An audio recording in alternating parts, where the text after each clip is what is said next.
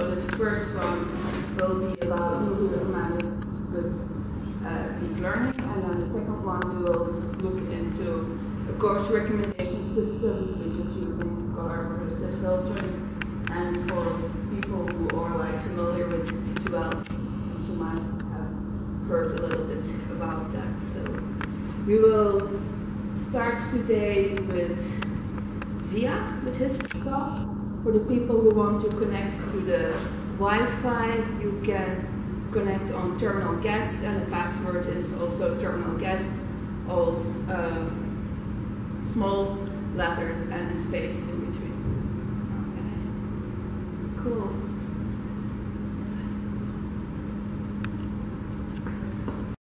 and some snacks. Thanks, Mary, for organizing that. Sorry, no pizza today, but hopefully uh, we'll have it next time. Before we get started, maybe someone wants to get some pop, some, some snacks, cookies.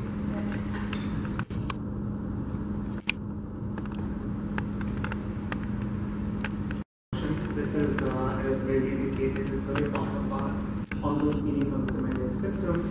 And uh, for individuals who are joining for the first time, what we are trying to do is we are trying to take one topic that is popular in, in this space, in the, the science or, or data science space, and it's sort of explore that, cover that from uh, multiple angles so that you have some depth of coverage as opposed to superficially covering it and just leaving it as uh, uh, leaving it there. So we took recommender systems, which is a very uh, interesting topic. It's uh, extensively used by a very num- very number of applications out there, and we wanted to study that in some detail. So in the first session of this series, we tried to understand what the many different types. We initially explained that we tried to build recommender systems using a data data set, uh, the MovieLens data set, which is exceedingly popular, and, and you can find lots of examples of that. In the second series, we took each one of those uh, approaches in recommendation systems and we uh, did experiments or we created a notebook that actually tried to generate recommendations for each one of those approaches. The ones that we studied were collaborative filtering and within collaborative filtering, filtering we had item based and user based and then we had uh, you know, other approaches that we actually uh, looked into as well. So the third part, which is today, what we are trying to do is we're trying to go beyond that. We're trying to go beyond the statistical and probabilistic approaches for building recommendation systems and try to use machine learning or deep learning and see what can be done over there and how would those recommendation systems differ from the traditional ones that we've actually seen and, and, and uh, looked into. Uh, so that's one part of this uh, series. The other part is, as Wendy said, is to be. So we'll probably spend about 20 to 30 minutes uh, on one pop on each one of these portions. Hopefully, be done in an hour, an hour and a half. Give us plenty of time for uh, for mingling and discussions and having uh, conversations towards that. So that's not do very well. We, we normally stuffed our uh, session with so much information that it was and it very late and we didn't get a chance to talk and uh, mingle. So we'll try to do that uh, today. Um, so without much ado, let's start. We use Azure notebooks for uh, building our code and our uh, our, our code, whatever. We actually that on Azure notebooks. So people who are generally not familiar with Azure notebooks, it is a Jupyter backend and it's for free. So it's in preview right now, so it's actually free. I don't know whether they'll be charging for uh, accessing this or not. I would assume not. I would assume not, because it is a free service. So Microsoft provides Azure notebooks for free. You can actually create your notebooks over here. You can run them against a Jupyter backend. So you know, using your Microsoft ID. Google has a comparable service. It's called Google Colab or Google Collaborative. It's again for free as well, and you can create your uh, Azure note, uh, Jupyter notebooks over there from that. And there are others that are coming out as well. Uh, hopefully, in future uh, iterations of this workshop, we'll try something else, something else different. So, in order to try that out, what you can do is you can go to this URL, notebooks.azure.com, log in using your Microsoft ID, and uh, it'll get to the, the main page. And I'll come and explain what. If you already. and uh, you can create your own notebooks over here. So the URL that you see at the top, that is my that is my personal uh, library.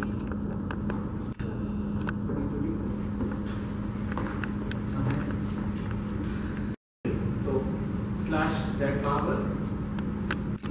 So notebooks.azure.com slash zpower and you can actually see my personal library which has some where I do my, uh, you know, whenever I'm going to develop some code, Python code on, uh, on a Jupyter notebook, I just uh, come here and create and create something very quickly. Uh, I'm doing something similar as well. Should I still put a door downstairs where the people still would be there, or? It's. Sorry? They, they notice the uh, my attendance. Yeah, since now, minute. I, I'll give us one extra check, you can continue. Um,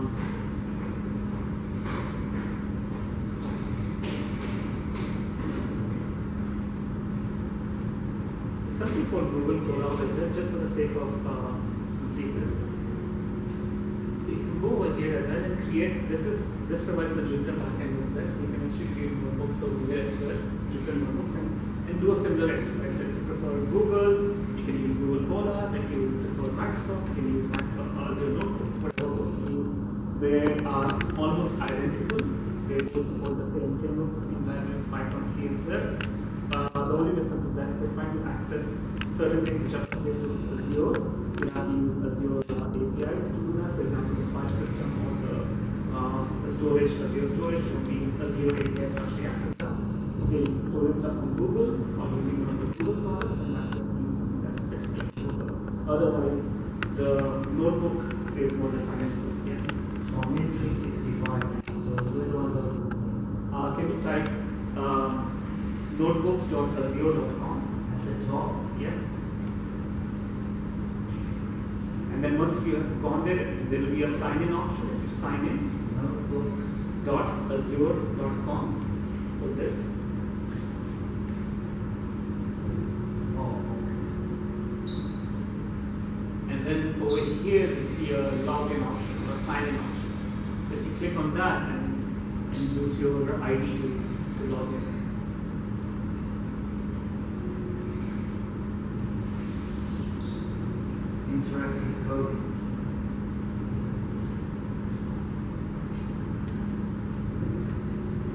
Mary will be here in a minute, so maybe once she's here, I can ask her to, of course, uh, the way we try to do it, so Mary would be, so while I'm presenting, Mary will be walking around, making sure that everyone is following the example, and vice versa. So she's actually presenting, I'll be walking around and making sure that everyone's following the example. So she can assist you at that time as well. So the code that we have, I would this folder recommended over here. So you go and click on this, it'll take you all the notebooks which are present in this folder. The one that we'll be looking in today is this one. Uh, RecSys Deep Learning is at the end. Last point five today.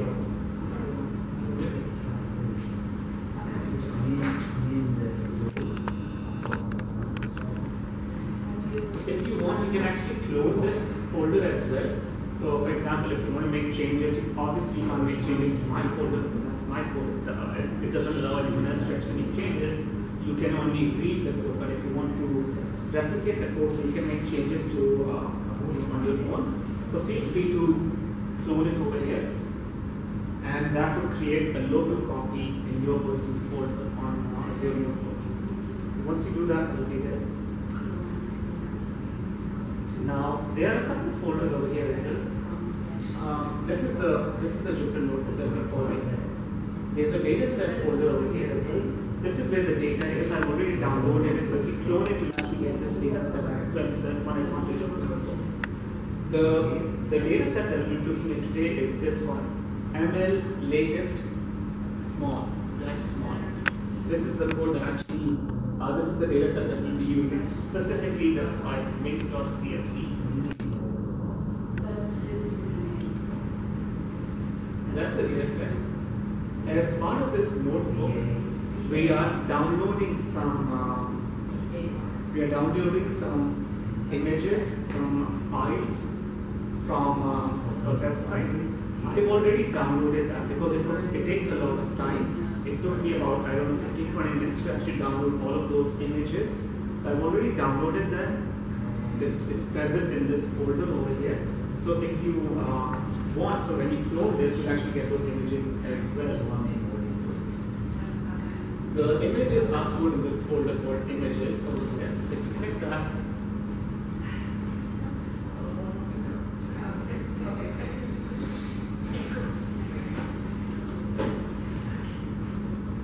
maybe somewhere else, just in case I can So find the we location. go here to the set, well, back to set V A V A R after number.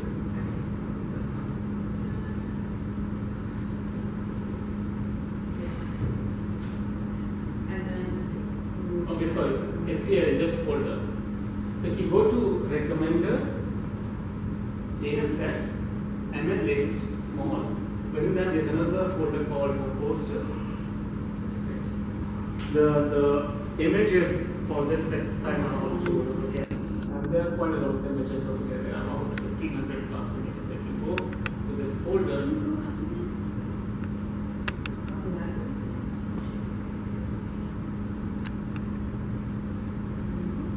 Okay, so you can see 1552 files. So these are all uh, JPEG images, they are 1500 in excess of 1500, and what they are, they're basically movie posters. So click on any one of these and you can see it's actually movie posters. So you can see Uh, what goes up over there. See, uh, Yeah, once again, can you say again which yeah, one, it's a movie poster. which one of the libraries you select this? Uh, recommender, like recommender, I'm just navigating to the folder. Yeah, library. And which okay, recommender. okay, that's okay, cool. Yeah, that's good, okay, cool, okay. So you can see that this is an, a movie poster. It's an image of a movie poster. So, Uh, we can try out, check another one. Let me go back to the folder.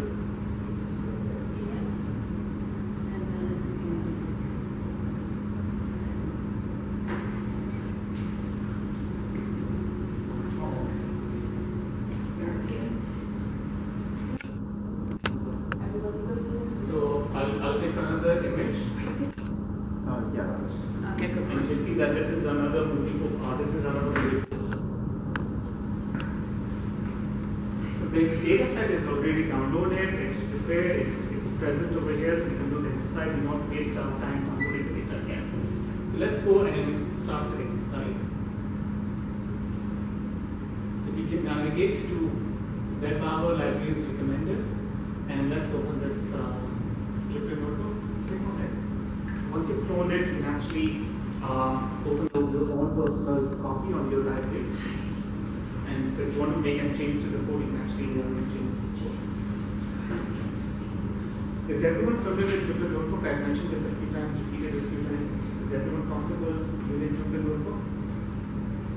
Okay, great. So I will go a of detail. Let me quickly clean everything. So I can restart this.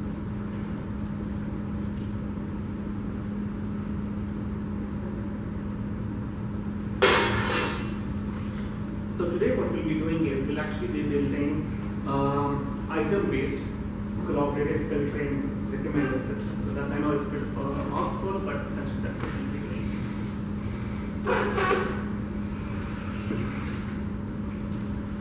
I have another uh, notebook which uh, we, we covered last week, which was an item-based collaborative filtering.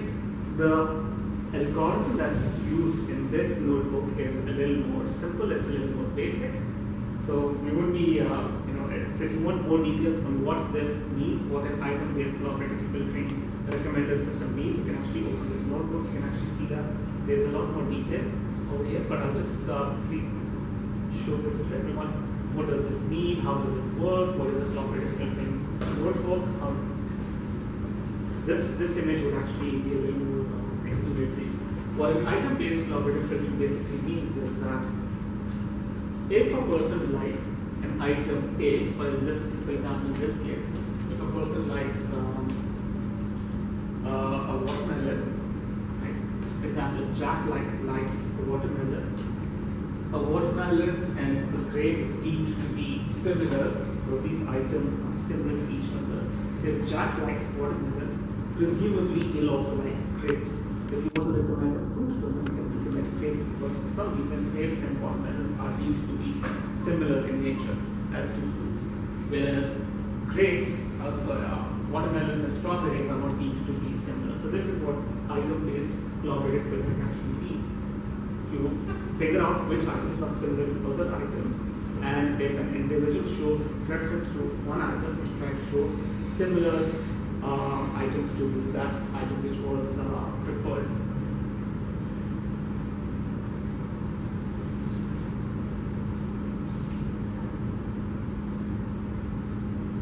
Sorry, I'm, I'm, I'm used to this uh, lab, it's just taking me a while. So recommender systems can have different categories. We have collaborative filtering on one side, we have personalized recommender systems on the other side. Amongst collaborative filtering, we have memory-based, which basically is item-based and user-based, and then on the other hand, collaborative filtering can be model-based. We actually using these machine learning techniques to actually build, uh, build these uh, collaborative filtering.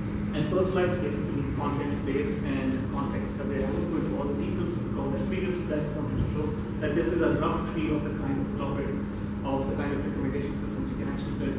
So last time we built the ones over here. This time we'll build and show how deep learning or machine learning techniques can be used to build uh, collaborative filtering uh, recommendation systems. So back to the notebook that we'll be covering today. So this is based off a blog post that we found online. It was very nicely written up. It was very descriptive. It be a good to actually cover it up and explain uh, how things work. The blog post is, the link is given over here.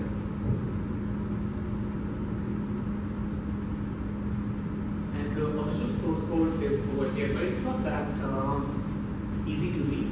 It's not that explanatory. explanatory. It's uh, a little uh, difficult, and there's some things that need to be fixed. So I actually took that code as, as a source, and I just fixed it, added more comments, based on changes that I thought were little more appropriate, and uh, that's what. But the blog post is, I would suggest that people get an opportunity to actually read this uh, blog post.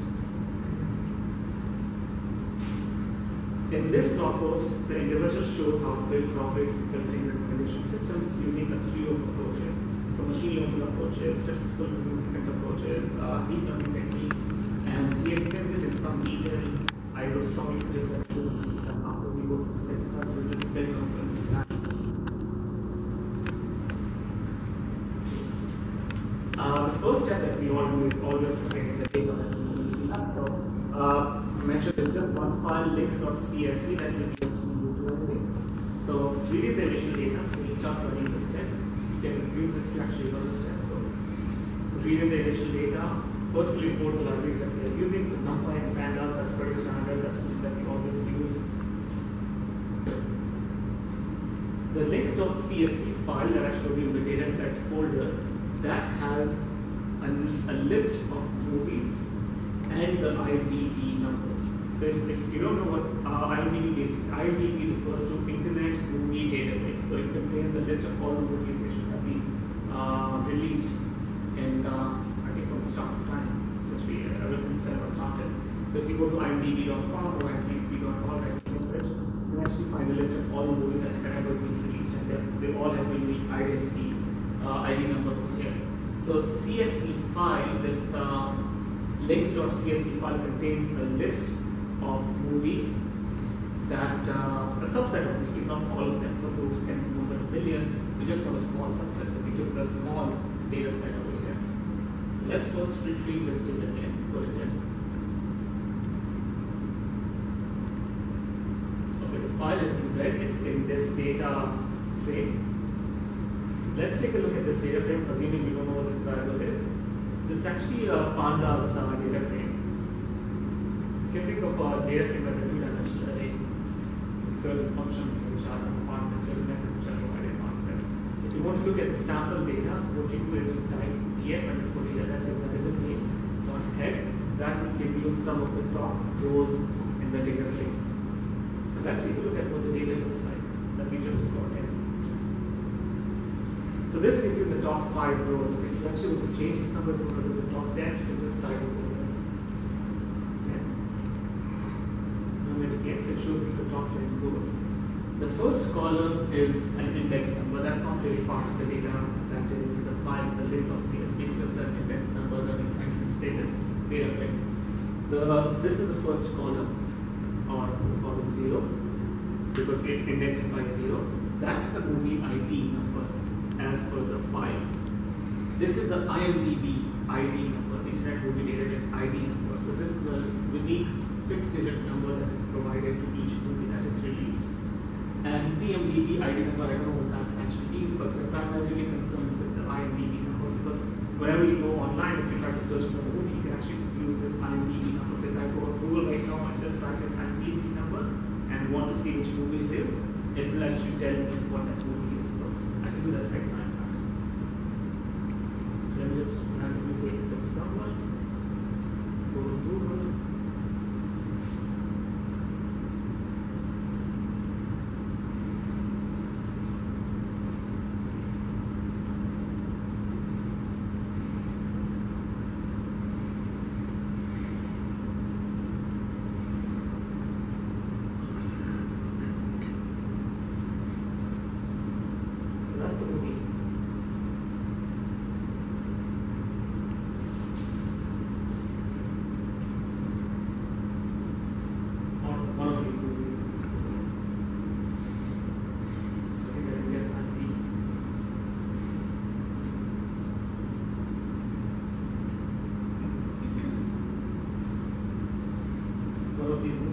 see the, the URL, right uh,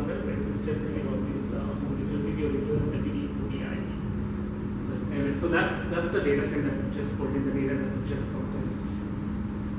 If you want to see how many uh, movies were actually read, so if you type length and you give a variable name, that will actually give you the length of that, uh, the number of records in that variable. For example, uh, the index, it actually gives us the, the length, the number of records which are present in this, and uh, the total number of movies that have been read in from this file are 9,125.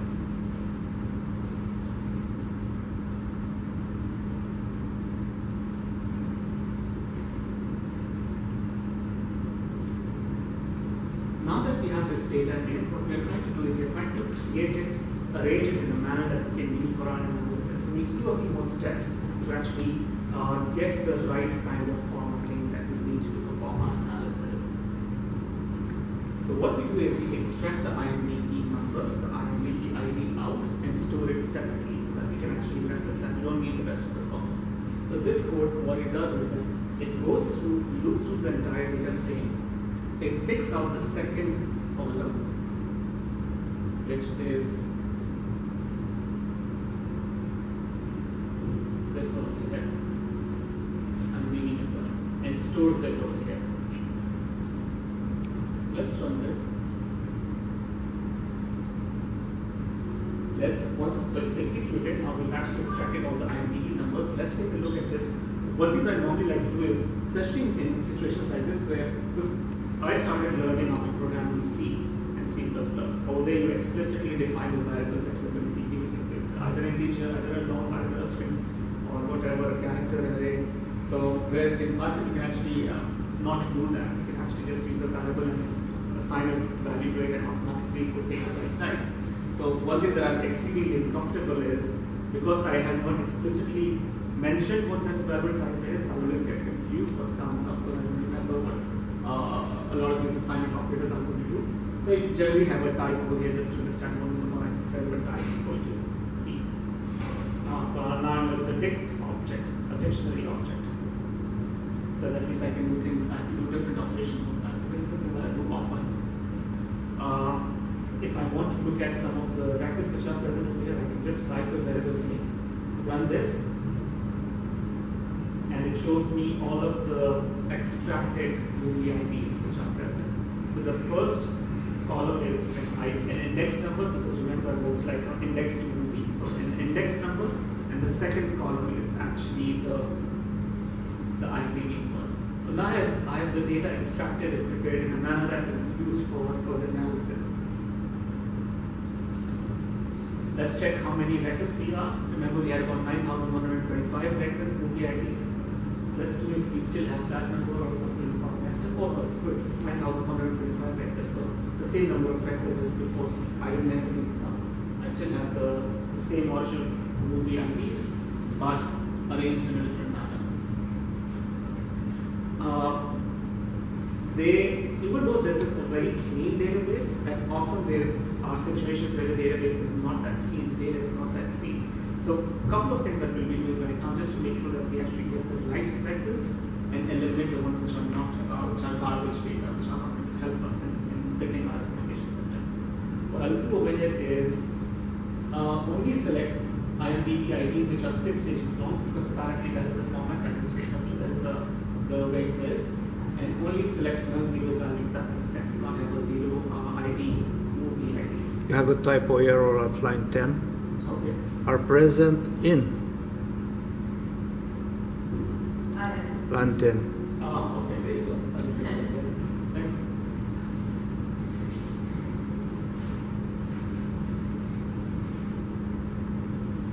So let me create uh, an array, and that's where I'm going to store some of these uh, values as well. So I defined an array which is the same length as 9,125 vectors. So I have that. Let me just take a look what kind of val- variable this is. It's actually a type of a list, so that's great. We need a list over here. Let me check what the size of this uh, is. Scroll down a little bit so this comes up.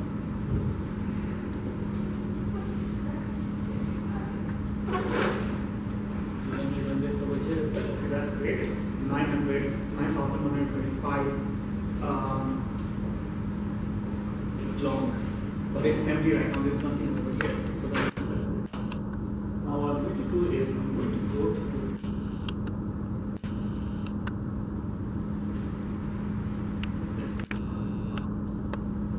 So I'm going to loop through the entire 9,125. I'm going to check if this value in this original list is six digits long, and if um, and this is just a check over here, then move this value in. So we just want to make sure that the IMDb digits is actually six digits long, and then move it over. So that's what happens. So I've pretty much populated all of its records over here. The second thing what I'm doing over here is the, I'm using the lambda function over here and then filtering it out.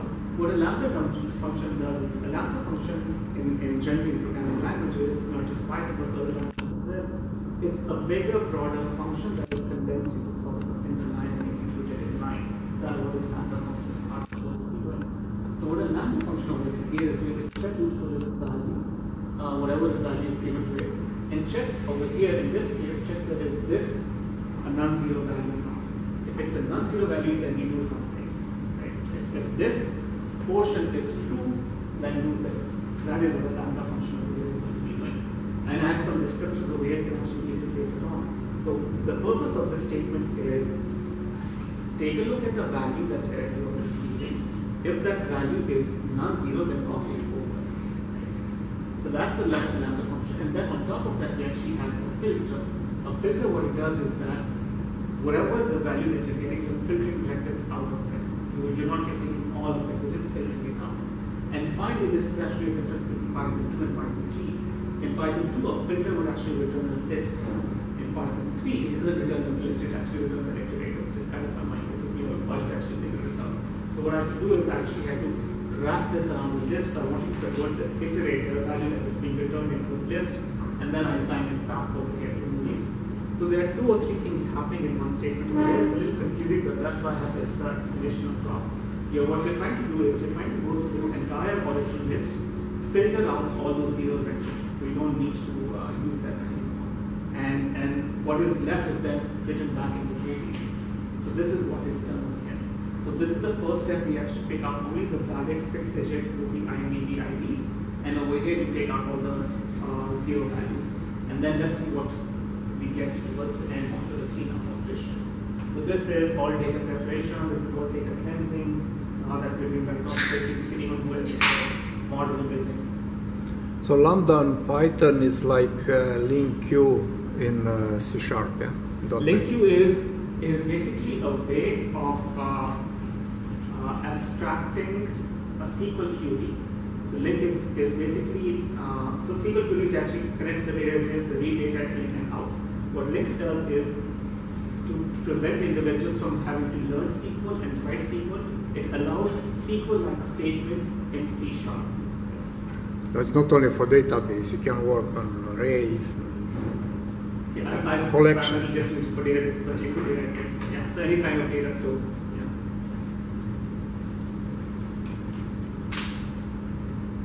So I don't put the statement selected on this right now.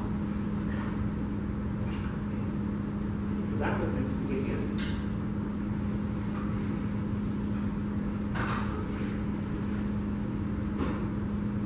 Now that I've run this statement, let's see what the kind of um, data type I get.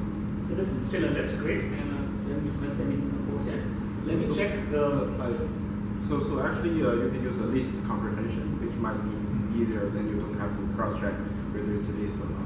oh, okay, great, that's a good, that's a good. Yeah, if you use list com- comprehension instead of filter, you can do a list comprehension if LDB it, it, the doesn't equal to zero. Mhm. Then you automatically have a list, it's not a iterator. Okay, okay, so maybe you know, during the break you can show me how to do that. Yeah, You could also collapse all of those into just. Yeah. Uh, so assign this, so, so the remaining number of records that I have are three thousand ninety-one, so after all the filtering, we basically got rid of six thousand records, and we just have three thousand left over there. So that was a pretty dramatic and drastic, uh, data cleansing exercise. So great, now we have our data, so now the next step that we'll be doing is we'll be fetching movie posters from, uh, from online. So why do we need movie posters? I didn't explain that because we're using a neural network over here, we're using deep learning techniques over here, uh, we to go beyond what is what what our current approaches can do. So one way of categorizing movies or coming up with recommendation is using movie posters. So for example, if I like a movie which has a very dark uh, movie poster, then because presumably because that movie has a very dark theme, it has a very dark story, it's very dramatic. So presumably I'll be liking movies which have similar dark themes, and the posters will probably reflect that. So that's one way of looking at it. If I like a cartoon, then the movie poster would actually you know, be colorful. It would have some animated characters on it. So presumably I would like other cartoon movies as well. Um, probably you know, and, and within cartoons you have different age groups. You have cartoons for very young children, so that would probably be you know, lots of colors. The, the, the characters would be more cartoonish, whereas movies, cartoon movies, animated movies for older children would be a little more having lifelike characters. So you know, movie posters give a very good indication of what the kind of movie is. So if you are able to classify or categorize movie posters, then presumably you can actually say that if a person liked a movie with this kind of poster, then he or she would like another movie with a similar kind of poster. So that is how movie posters are being. Uh, CNNs or convolutional neural networks are ways of doing image classification. So in this, what we are doing is we are actually taking an implementation of CNN, convolutional neural network, and using that to classify uh, this subset of movies that we've just come up with, the last 3,091 movies that we have in our list right now. We actually going to fetch on the movie posters, 3,091 movie posters, or how many most posters that we have, and then we are going to try to classify those posters. And then once we have a classification, we try to do some similarity analysis, try to find out movies with similar, uh, which are similar to each other, so that if I give a movie of with a poster A, all the movies which are similar to that movie are going to be recommended based on the similarity of movie posters. So that is the idea. Did I explain this right, or maybe does anyone have any questions on this? So let's go now and fetch the movie posters uh, from uh, from online. First, we broke the code libraries. I think we should be a little quick because taking too much time.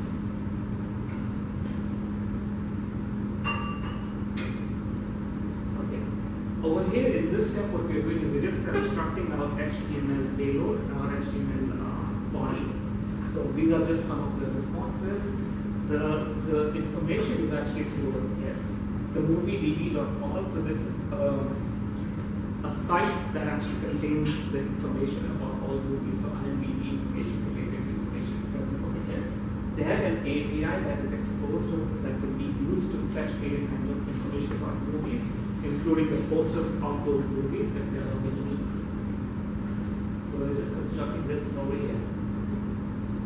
Guys, accidentally, uh, the button twice, but, uh, over here, what we do is this is just a function that is defined to get a single poster.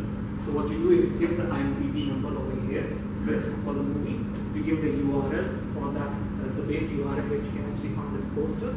What this function will do is it would actually construct a complete uh, URL.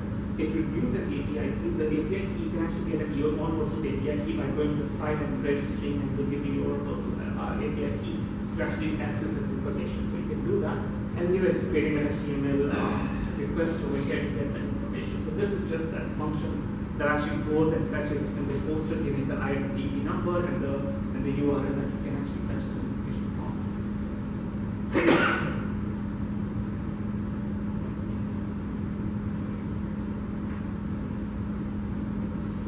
Uh, so this is our uh, URL IMDb array where we should have uh, all the URLs that the, the movies are going to be, the movie posters actually are going to be fetched from. It's just, that's okay. This is where we actually go and uh, construct our URL and fetch the poster from. So this may take a few minutes iterating through the list of movies that we've identified so far, the 3091 records that we've identified for. We give the movie ID, we give the URL, and we go and fetch it from there. So this is going to take a few minutes to run. Uh, when I timed it last time, it actually was supposed to take uh, about four minutes, three to four minutes or so actually run. So I can talk for a few minutes while this is running. But uh, that's what it is. Yeah. Don't you, will we not run the risk if multiple people will be downloading the images at the same time that will be both from sites? That could happen because it's the same key. So what Mary just pointed out that if all of us 20 people or so do execute this code simultaneously and we are all going to bombard that site this information against the same key, would the site not block us, try to prevent us? That's, that's quite a possibility. That's one of the reasons I actually downloaded this data beforehand.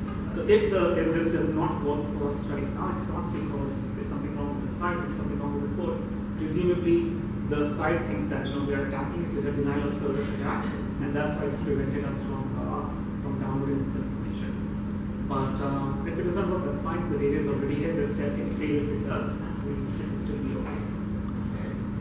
How do you know the structure of the the response? Uh, if you go up, uh, you, you you have the the description of the This yeah.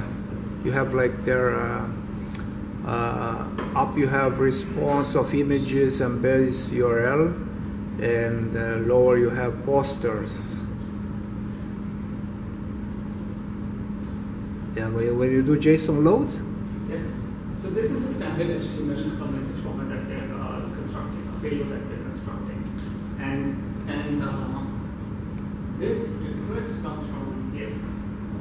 The response response is what you receive for, from the the API. Yeah. Yeah. Request.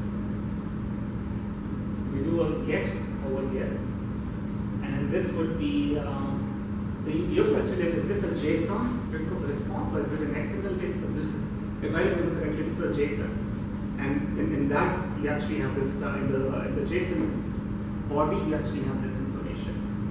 The posters, The question how you know that you have those. I mean you you have to Oh, you mean uh, how do I know the format of the JSON that is Yeah. going to be returned? up, up if you look you have um, images and base URL. It, it is I guess documented on the IMDb. This? Yeah. Uh, okay, so I understand what you mean. So you're saying that if I'm making a REST call to someone, if I'm making an API call, the format of the JSON, do I know that beforehand? Yeah. not? So that is something that we, we when you get a uh, JSON body response, you can actually parse that and see what the values are. Oh, you did that before? uh, Yeah, yeah, Oh, I did that okay. And it was not just in Python, you can actually use uh, Postman to actually do this. So I did this on Postman. So I created my own string, I used an API, I ran that, I saw what the response was. But this is the code that I actually saw already written. So this is pre-written code. I didn't write this code. So this had this structure already. But independently of that, when I was finding out, when I was trying fooling around with it, I used Postman, which is you know a, a REST client, if you will, that can actually be used all uh, API producers and see what they send back in responses. So just did some fiddling around just to get an understanding. Because you know, when I see code, I need to see how that actually Yeah. works. So sometimes I use Postman to actually make API calls to see what the kind of responses are. Yeah. Did you find Postman easy to use? I find I've been using Postman for quite a long time. It's so five, six years now or so. So generally I'm very familiar with it. So it's easy to actually do that. And it's easy to, to create different kinds of cases as well and run them and see how it actually. There are others as well, but generally I'm more familiar, more comfortable with Postman. So I, I don't have a lot of comparing and contrast because I've just used Postman.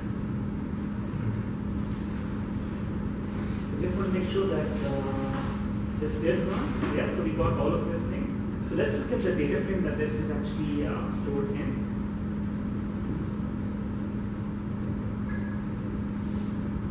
So this is the data frame of all the movie IDs and the, the URLs that we can actually find this. Okay, this is just some code that actually displays this value. Commented it out. And now let's take a look and see how many actually valid posters we had. So we had a list of valid uh, movie IDs. Now let's see how many valid posters can we actually find against those movie IDs. So we just have 899, so a drastically small number. So we started with originally 9,000 uh, movies the list, and slowly by slowly we've been whittling them down, and we're just trying to down to 899. So ultimately we'll be downloading 899 movie posters uh, for the data set that we actually started.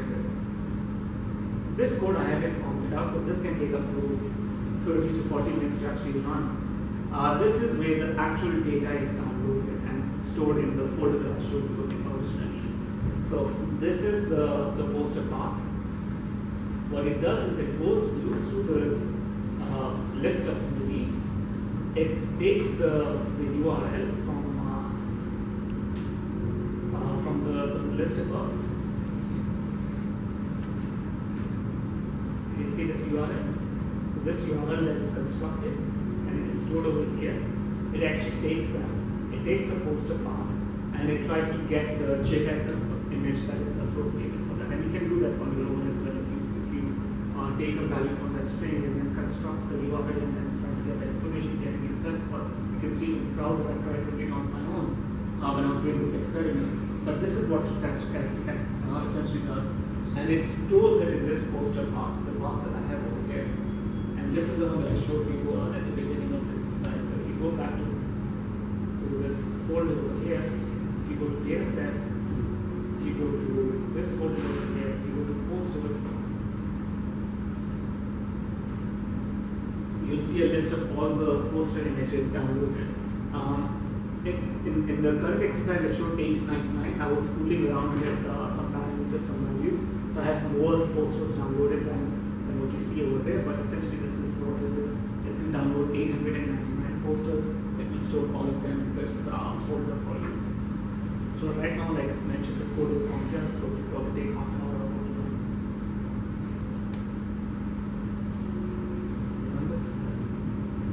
Okay. Now done. We, we have all the data. We, we have the list of movies. Originally, we filtered them out. We came out with a small subset of movies, which were about 3,000 or so. We tried to find associated posters. We went to the movie IMDb website. We actually downloaded all the posters that we could find against those 3,000 movies. These are 899 posters. So now we have 899 images, and we can do some kind of pre-processing and image classification on that. So let's do the pre-processing first because the classification algorithm that we use needs to have the images in a certain manner before it can actually work and um, train the model against those images. So VGG is the image classification algorithm that is used over here. VGG stands for Visual Geometry Group at the University of Oxford. They came up with this ConvoNet approach or a specific implementation of ConvoNet. that actually won the 2014 um, ILSVRC challenge. So they were deemed to be the best performing approach to a certain challenge, which is primary speech classification, where they have to go in and correctly classify it in about a million images or so. They are the highest uh, ranked algorithms, they won that challenge. And what this group has is actually, there's a publication that they have against this, and they'll actually uh, release their model as well. Their pre-trained model as well, and that is part of Keras. Uh, does everyone know what Keras is? So Keras is basically, for people who don't know, it's a machine learning slash deep learning collection of, uh, of uh, it's, it's a library for deep learning machine learning uh, functions. And recently, when I say recently, I basically late last year or early this year, Keras has now been bundled into TensorFlow. So you when you put TensorFlow, you actually put Keras by default as well. Keras is the front end for both TensorFlow and Theano, right?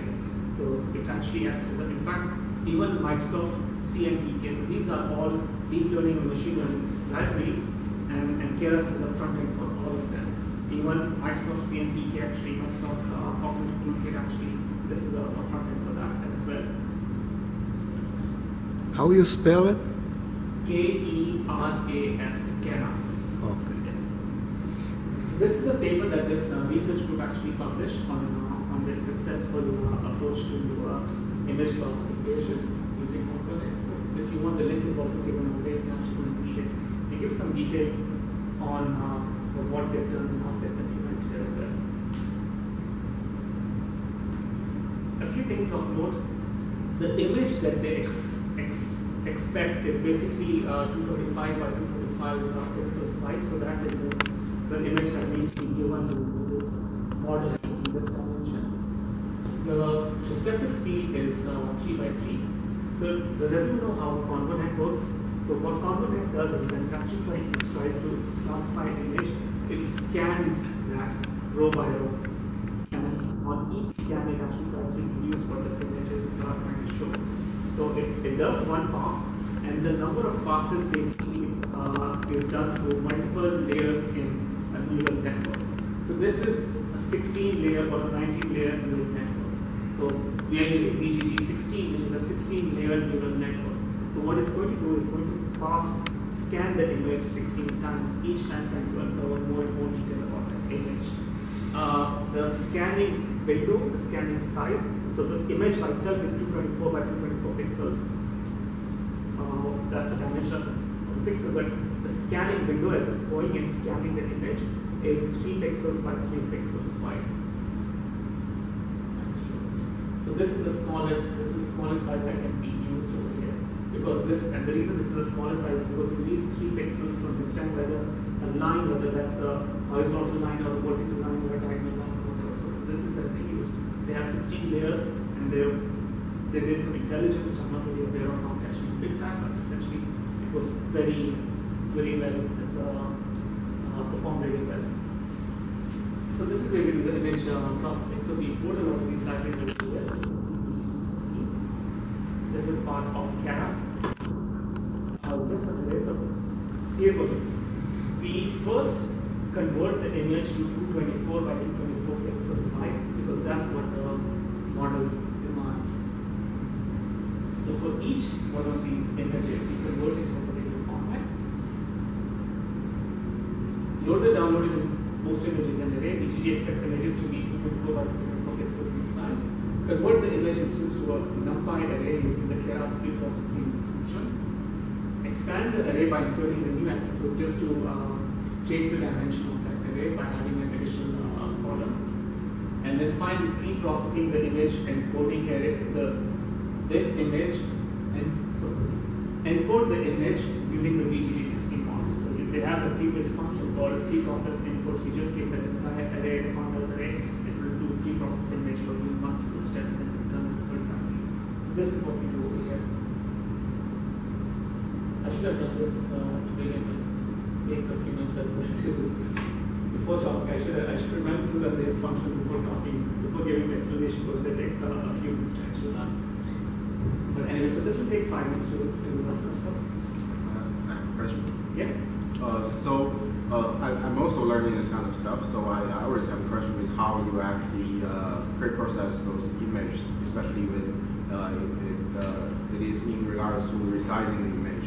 Whether I'm always thinking about well because your your convolution layer, the kernels that is a fixed size and the feature, especially you're using a pre-trained neural network, so the feature is already predefined and it's it is very small kernel you have. So if you actually zoom the image or, or just shrink the image, Yeah. the, the feature would be not be really kind of uh, apple to apple to the kernel. Either you increase noise in the image or you decrease noise in the image. I'm sure if you do, if you do a different kind of thing. I do not know, honestly speaking, I don't, I don't really know a lot how, how image pre-processing is done or for that matter image Right. post-processing is done. done.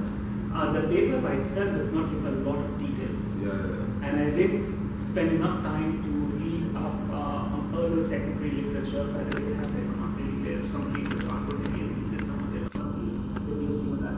But the paper by itself does not a lot of information on how they do a lot of these steps. The paper is pretty short, it's just a few pages long. long. Do you know if like movie posters are going to this this is the African show? Like are the are they Yeah, uh, this, this question comes. Yeah. and it will be distorted. and, and also like bicubic downsampling or type of downsampling? Do you know what type? But yeah, the papers are so well won't actually read this paper.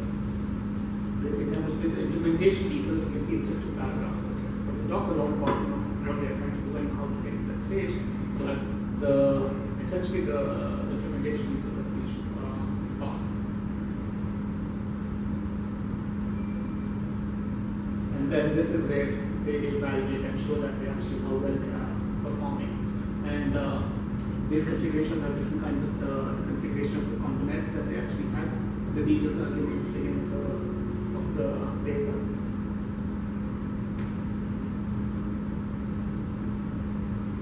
And that's it.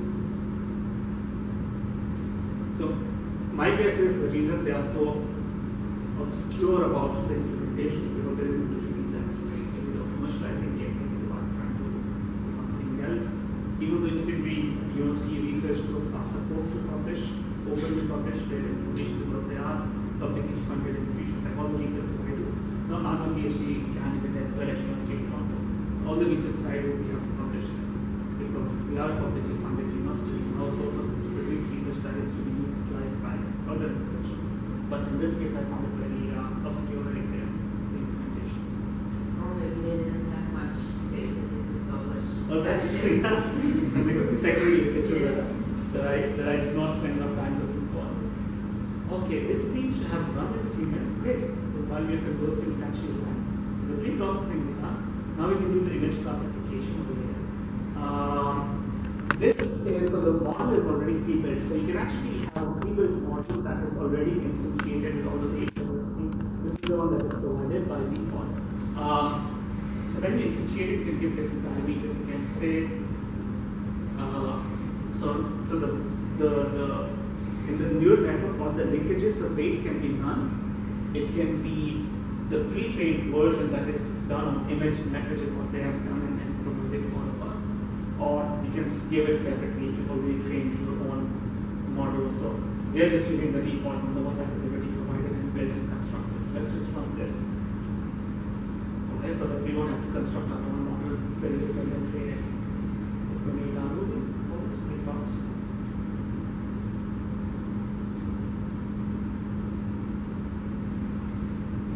Okay. Um, I'm going to cheat over here. Right now, our movie movies was something like 899 or something like that, right? It was, uh, was a smaller number.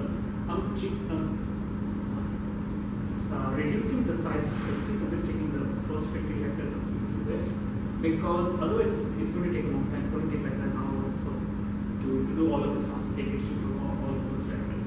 Uh, like I did 1500 items in about an hour, so this will probably take about half an hour or so. It doesn't take much time. So this is going to take 50. This is going to take five minutes, or maybe even less, because we are up. I'll just do 10. Over here. And this is where we are going to be um, classifying all the images. So the 10 images that we have, we'll try to do some classification. Just JPG 20.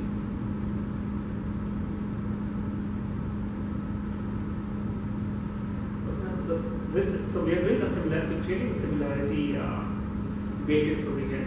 What we're trying to do over here. So um, this is okay. Uh, over here, what we're doing in this step, we're trying to classify the image.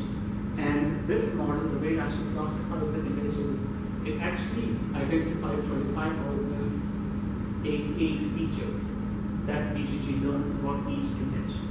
So for each poster, it's going to come up with 25,088 features for that image itself.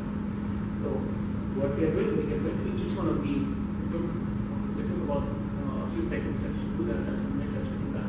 So it, went through the 20 posters that I'm sort of faked that these are the data set of 20 posters. Each one of them it learned about 25,088 and it actually stored it in this matrix uh, res variable over here. Now that I've gone through that, I've analyzed and, and classified each image, I've learned the features of each image. I'm trying, now I'm going to go through all the 20 images and do some similarity analysis, some similarity calculation for it. Try to try to understand which images are similar to which other images. And this is the function that actually does that. The formula is, is here. Don't ask me to explain that if I can't. So how many classes you have? Uh, Classes. classes. Uh, You- you know, it depends on, from this. But it's it's not cluster, it's not like clustering analysis. It's just across all of the images, it's going to try to create, uh, uh, come up with a coefficient number that actually indicates how similar this image is to another image. So it's going to for each image, it's going to do that for all the for all the images. It's going to take each image and go through all of the remaining images and try to see how simple that is to the other. Yeah.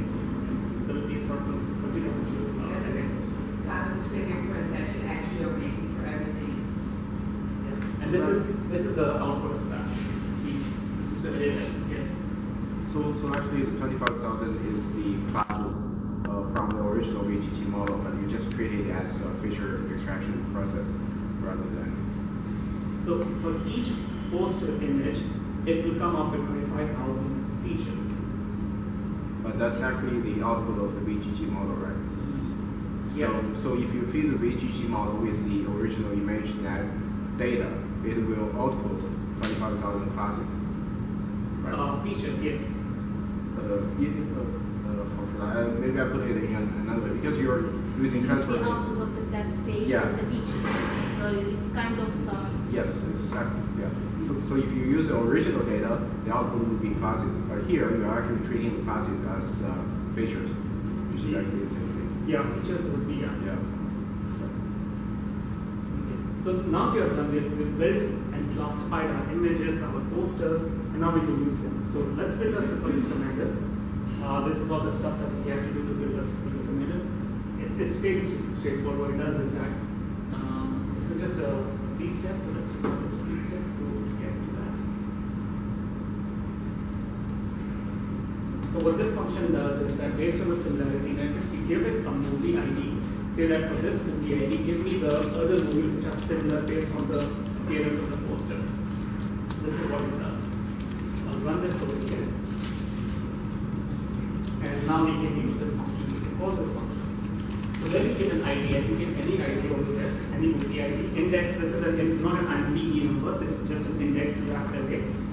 So let me say uh, index number 5 in that. So there will be some movie poster I can display that movie poster if I want using some code over there.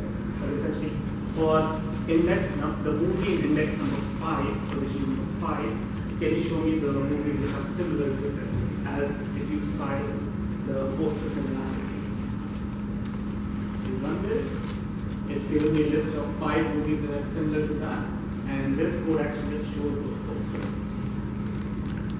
Oh, this is, these are movies that are similar to that.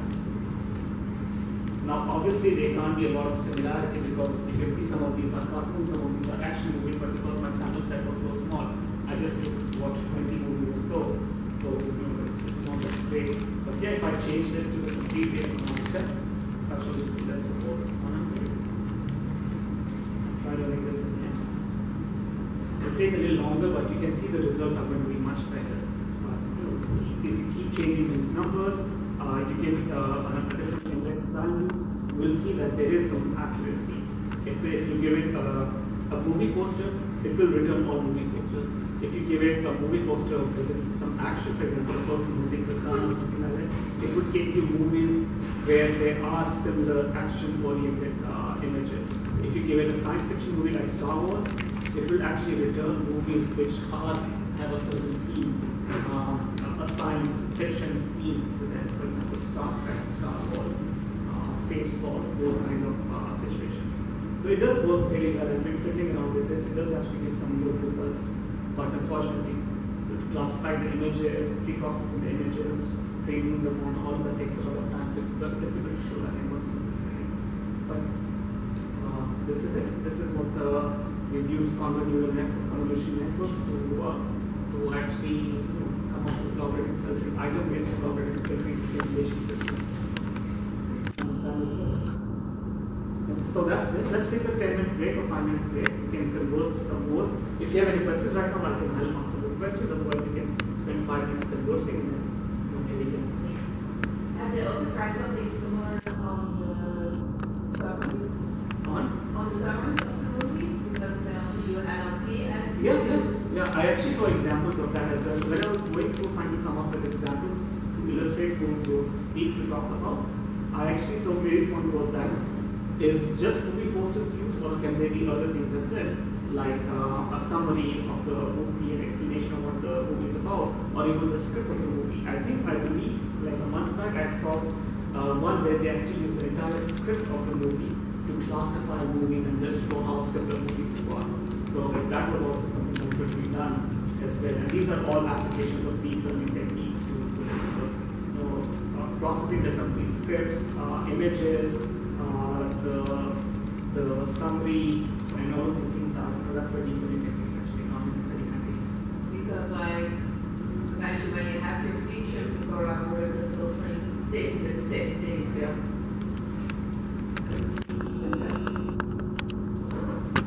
Hey guys, let's take a five minute break. Snacks and cookies are here. Thanks.